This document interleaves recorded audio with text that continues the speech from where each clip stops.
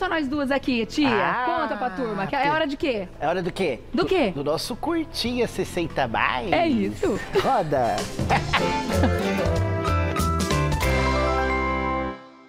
Esse é um curta que não vai ser curto não, né, tia? Porque tem bastante dica boa, né? Verdade, estamos com quatro diquinhas bem bacanudinhas. Agora só abrir um parênteses. Você viu que legal a história delas, como se confunde com Hebe Camargo? Muito. E como foi bacana tê-las hoje aqui também? Muito. Né? Justamente porque elas são amadrinhadas por Hebe Camargo nesse dia Muito 8, legal. que seria aniversário dela, né? e 95 tantas homenagens anos. estão acontecendo também nesse Justamente, dia, né, tia? Verdade. Eu dei os parabéns aqui pra Paulinha e dou pra toda a produção, pra direção. Esse link foi maravilhoso de Foi. trazê-las hoje, com Realmente. as imagens, a história, né? Lindo. Muito legal. Parabéns pra todo mundo que conseguiu realizar essa, essa proeza de ter aqui a- as meninas do, do, da- do, do Barra da. Saia, Barra da Saia. Vamos passear então? Vamos, vamos, vamos falar de bem? Vamos. Vamos falar de Feira do Bem?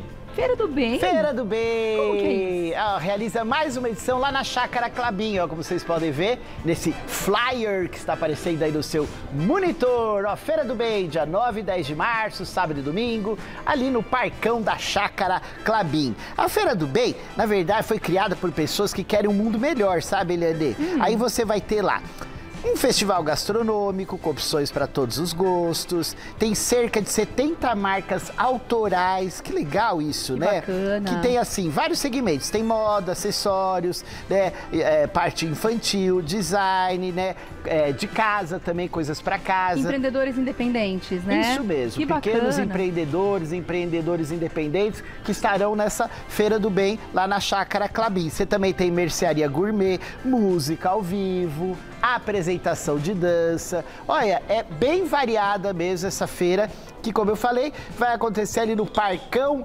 Chácara Clabim. O Parcão, o cão é de cão mesmo, acho que é de cachorro. Isso é Ah, que engraçado, pode levar os né? pets, É, né? Que é, qual é que é? Pet friendly. Pet friendly. Pet friendly. Chique. e onde fica lá o Parcão Chácara Clabim? Na Avenida Prefeito Fábio Prado, esquina com a Rua Vergueiro, dia 9 e 10 de março, também conhecidos como Amanhã e Depois, Sábado e domingo. sábado e domingo, das 10 às 20 horas. E a entrada, o valor é de grátis. Ai, que delícia. Muito um super bom, né? encontro, um lugar gostoso pra criançada. Eles fecham a rua lá, será?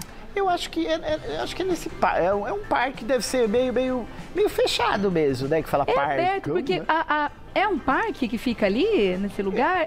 Eu fiquei com a impressão de que era Que é uma na. praça, ah, é né? novo. Porque eu morei ali do lado, eu passava nessa prefeito Fábio Prado praticamente todos os dias e fazia esse cruzamento com a Vergueiro. Uhum. Então eu fiquei imaginando aonde. Será que eles fazem na própria avenida e fecham a avenida? Ah, Não, ser. então é um parque. É, ou numa praça, assim, um parque ali, né, já Que legal. fechadinho. Olha, faz tempo que eu não passo por lá. Parcão da Chácara Clabim. Muito legal. Muito legal, Uma adorei essa pedida, dica. Né? Gostosinho, vai E lá. você viu que tem ali uma, alguma das coisas que os artistas estavam vendendo ali, os era uma.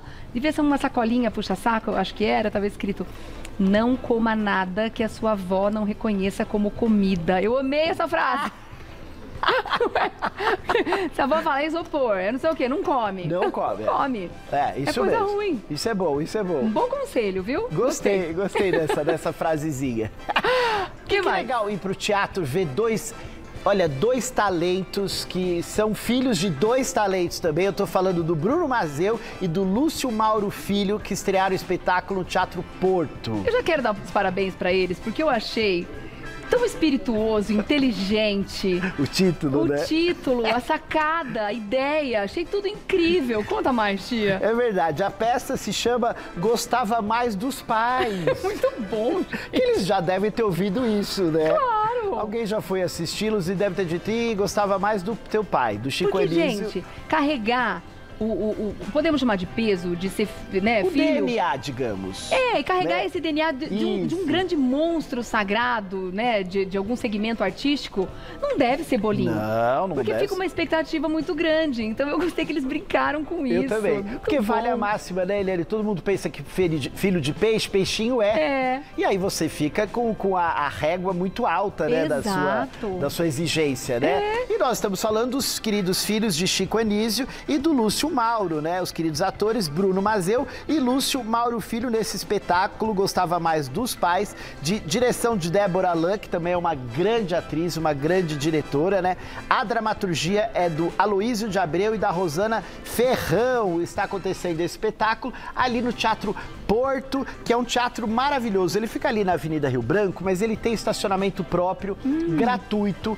É muito gostoso de, de, de assistir espetáculos lá. Deve a... ser muito divertido esse espetáculo, muito gente. Fiquei divertido. com muita vontade de ver. Eles fazem 10 personagens ah. que eles falam um pouco deles e um pouco dessas, digamos, dessas agruras, como a gente falou agora há pouco, né, de serem filhos de quem são. Pois é. Não é? Então deve ser divertidíssimo. Muito. Imagina o quanto eles não tiraram onda fazendo os textos, né? É, é, é verdade. O tanto, né? As similaridades, o quanto eles se identificaram nas histórias, é verdade, né, entre é. eles. E digo quantos pais eram amigos, né? Assim, Sim. o Lúcio Mauro e o Chico Anísio, né? Eles devem ter crescido juntos, né? Justamente. Devem ter crescido juntos. Bom, o Teatro Porto fica ali na Alameda Barão de Piracicaba, né? Que também é ali esquina com a Rio Branco, número 740.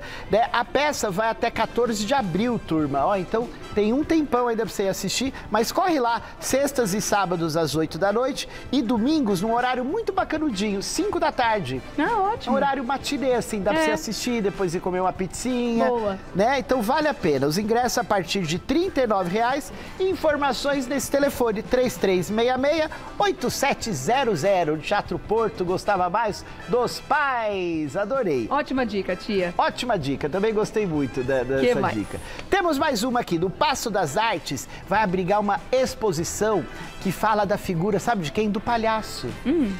Olha que lindo, eu achei lindo esse flyer, ó. Lindo, com palhaço? essa letra estilo antiga, assim, Não né? é? é? Achei lindo. E o palhaço quem é? Olha lá, imagens icônicas de palhaços em fotografias históricas e obras contemporâneas que provocam empatia e outros valores. Olha que legal. A gente já começa aí com essa esculturinha. Olha que, que genial isso. São imagens, né, como eu estava lendo ali, né, e, e que, que, falam, né, dessa figura do palhaço, né, da, da, da, empatia que a gente tem, muitas vezes do medo que algumas pessoas têm, né, Sim. né dessa curiosidade de, de ver, né, ó, você vê aí essa montagem desse palhaço de uma forma forma inusitada, né? Com flores, né? E fala e conta um pouco da história desse personagem, né?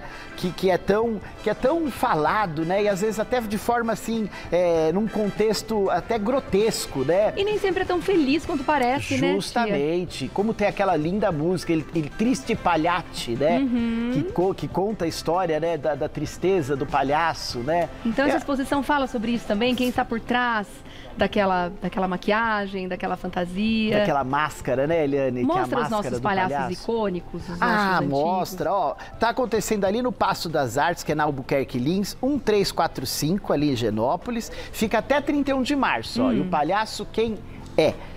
Até 31 de março, de terça a sábado, olha, bem legal, bem extenso assim, né? De terça a sábado, das 11 às 19, domingos e feriados, das 10 às 18, o valor é gratuito. Ai, então, de graça! Vale a pena, ó, você vê aí, tem várias imagens, tem quadros, tem, ó, você tá vendo, ó, várias obras que mostram, olha essa daí, essa imagem, achei, olha, que interessante, olha essa escultura, que coisa.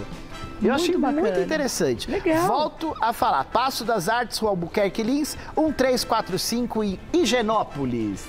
Muito Maravilha. legal. E o palhaço, quem é? Muito legal. Visitação, ingresso gratuito. Vá lá, vá, vá prestigiar.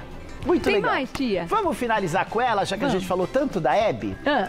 Hoje estreia, finalmente, Hebe, uma revista musical lá no Teatro Moca, com essa grande atriz que é a Fefa Moreira.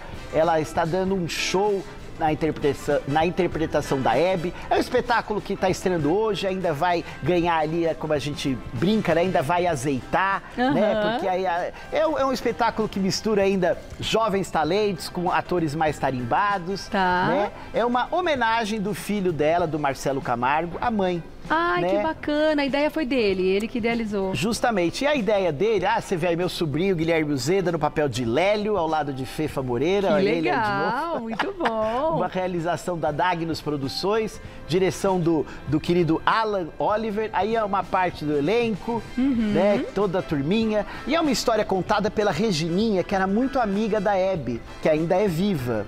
Né? Então ela, ela conta, ela é, ela é a ela é a mestre de cerimônias ali que vai falando de toda a história da Hebe. A Hebe pequenininha, ali temos o Alan, a Fefa e o Marcelo. E é uma homenagem mesmo do filho do Marcelo para a mãe, uma visão dele, né? Já que tivemos aí, uh, ele mesmo fala, né? Do seriado e do filme que ele não aprovou, né? E essa é a versão dele mesmo e que Por que, que, que envolve jovens talentos com, com é, é, atores mais tarimbados? Porque a Hebe sempre deu é, oportunidade para novos talentos. É verdade, ela era muito escada para muita gente, né? Muita gente. Então, eles quiseram justamente trazer essa turminha mais jovem para que ali pudesse, nesse espetáculo, também ter aí a sua, a sua carreira, né? O começo da sua carreira, né? Então, tá muito legal o espetáculo Teatro Moca, de quinta a domingo, às 21 horas. E é verdade, tia, que nesse espetáculo muitos dos figurinos são originais, eram da Hebe mesmo? É verdade, Eliane. Você acredita? O figurino da entrada, a roupa que ela usa, a Fefa Moreira usa no início, é da própria Hebe. Aquele colar também é da Hebe, Algumas é? joias, esse colar, sim. Gente, é, que demais isso. É, e, e, toda a parte de perucaria que é feita pelo querido André, hum. lindíssimo. Então você tem ali pessoas como o Roberto Carlos, Fábio Júnior. Né? Todo mundo representado ali. Todo mundo representado. Que legal, tia. E aquela história do microfone, rapidamente, só para finalizar, é uma cena maravilhosa que ela fala: eu tenho um microfone, eu vou dar voz àqueles que não podem falar. Ah, aquela cena tá no espetáculo. Tá no espetáculo. É muito... A cena do Roda Viva. Imperdível, gente. Que ela é questionada. No Teatro do Shopping Moca. Teatro, isso, dentro do Shopping Moca, uhum. ali, Teatro Moca, de quinta a sábado. Muito bom. Às 21 horas. Arrasou. Obrigado. Gostei das dicas. Também agradeço a todos, Caio, Letícia, turminha lá de baixo, Sibeli, todo mundo que ajuda a fazer o Curta Mais. É isso aí. Né?